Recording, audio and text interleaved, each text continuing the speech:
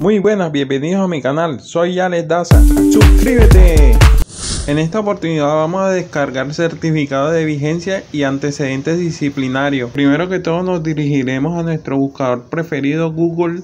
Aquí en la barra de búsqueda escribiremos CONIA, que significa Consejo Nacional de Ingeniería. Ya estando aquí le damos clic a la primera opción de la lista donde dice CONIA, Consejo Nacional de Ingeniería. Una vez que ya hemos ingresado a la página oficial del CONIA, le daremos clic aquí a donde dice Certificado de Vigencia ya aquí le daremos clic a este botón amarillo donde dice ingresar. ¡Suscríbete! Aquí donde dice acción a realizar al frente desplegaremos la lista de opciones y escogemos la opción generar certificado.